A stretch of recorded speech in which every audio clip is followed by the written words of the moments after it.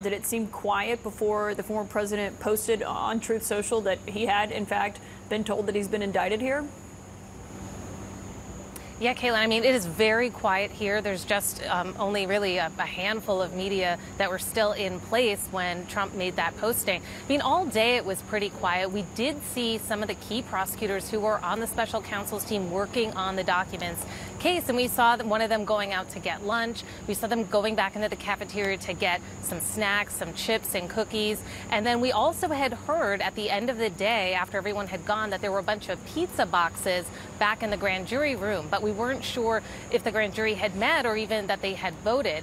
Uh, but it has been a relatively tranquil scene here today. Uh, you know, of course, if you remember back in New York after Trump was indicted on the state charges by the Manhattan District Attorney's Office, it was a similar thing. The indictment came down on a Thursday. He was arraigned the following Tuesday. That gave everyone time to get into place. So you can imagine the scene here will become quite busy, um, not only the media descending, but also potentially some Trump supporters, some members of the public. Uh, you know, as Evan was just explaining, they will have to get a security parameter in place here. And, you know, Trump being at Mar-a-Lago, as you well know, I mean, they are used to having him transporting him around, but this is certainly of a different magnitude and dimension. The first time a former president facing federal charges.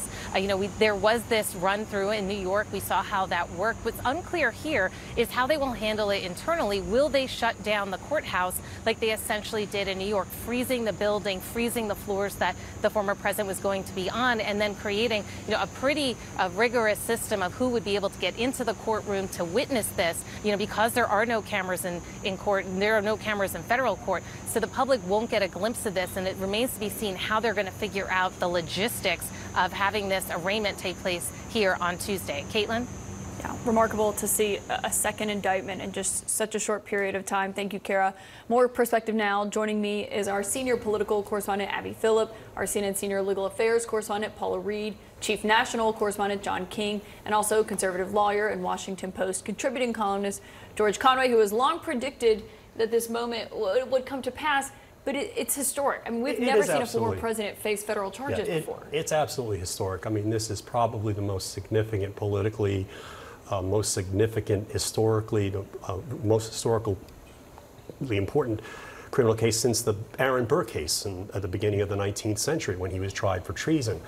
Uh, this is, you know, it is stunning to see, it is breathtaking to see, but it's not surprising at all.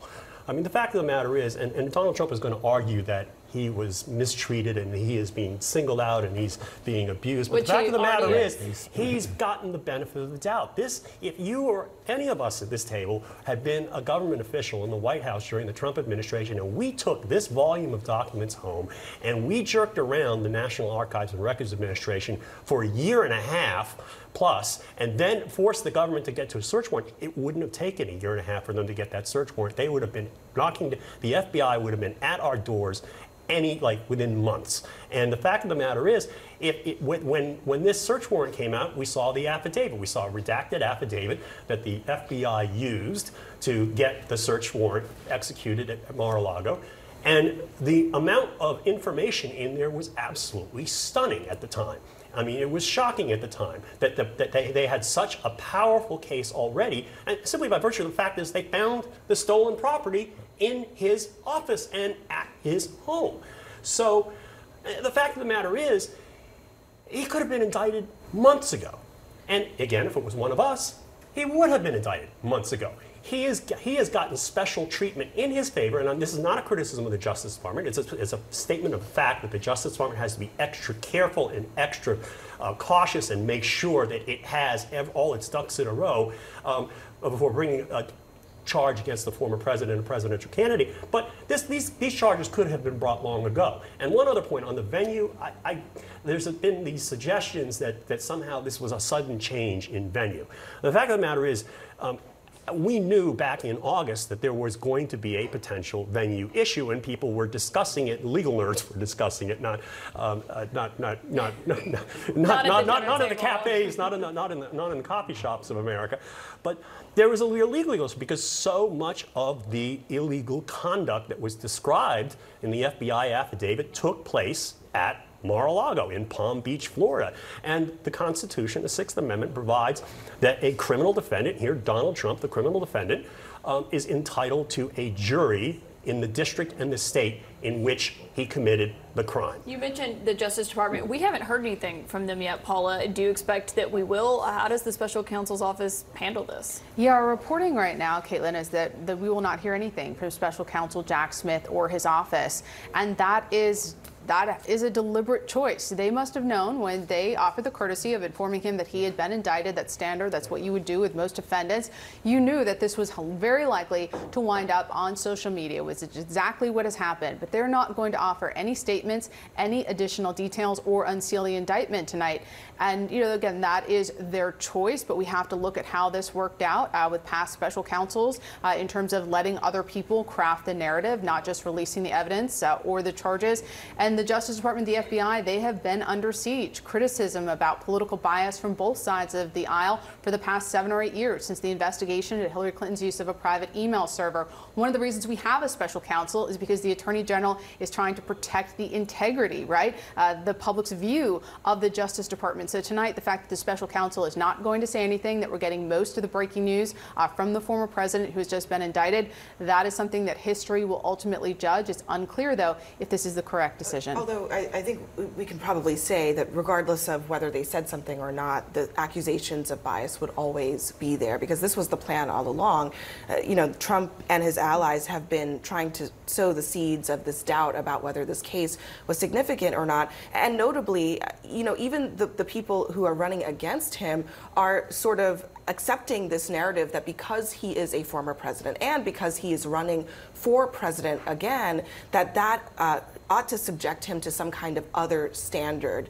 Uh, and that is, I think, what will be tested here once we actually know the, the details of it. Uh, the, the, significance of the reporting that you and the rest of the team uh, reported about that, that tape uh, in which he's talking about a specific document, we don't know whether that document is involved in this. We don't know whether that was all. But even if it were that alone, I think it really opens the door to a, a really serious set of issues about national security, about Trump trying to utilize the documents in a way, uh, in any kind of way, frankly, and not just to peruse them, but to use them to prove a point about General Mark Milley.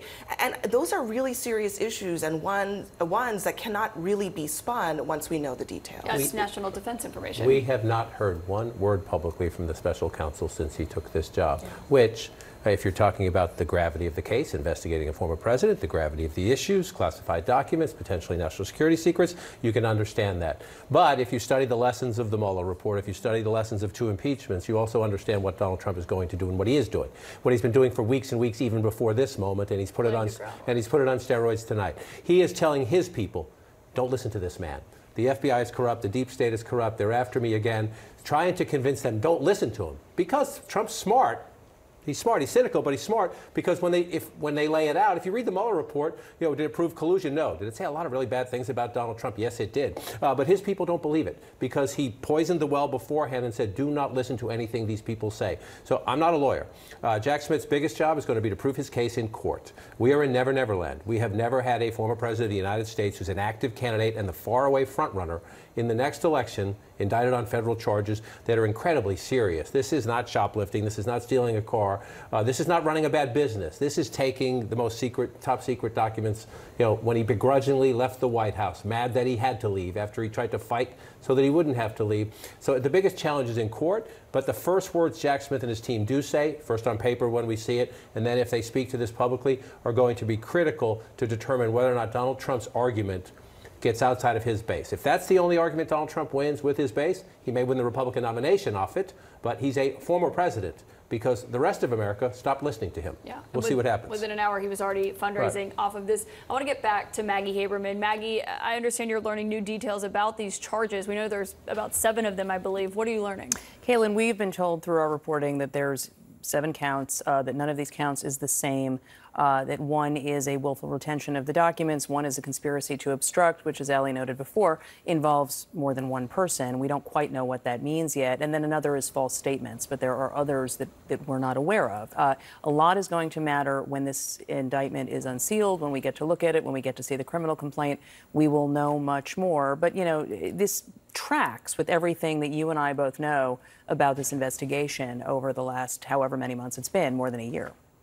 Yeah, it has been over a year. But when it comes to these counts, even though the former president was bracing for this, he's in New Jersey right now. He's going to have to mm-hmm. go to Miami, as he's said himself on Truth Social on Tuesday for this. I mean, what's your reporting on, on how his mindset is? I know he's been making a lot of phone calls to Republicans, asking them to attack Jack Smith, to be out there defending him more vociferously than they are now. But what is your sense of, of how he's viewing this? Defiantly, and I think that's not a surprise. That's what we've seen him do over and over again. He and his team have been preparing for this for a while. He has been telling people for many days that he expected that he was going to get indicted, and frankly, I think he's thought it's happened long before this meeting that his lawyers had with the DOJ on Monday. Um, but Kaitlan, as you and I both know, sometimes he reacts a certain way initially, and then as the event sinks in or the fact set sinks in, his behavior changes. So I'm not quite sure what this is going to look like. We know he has two political events planned for Saturday. Those are going to be pretty significant to watch. And then obviously, whatever happens in Miami on Tuesday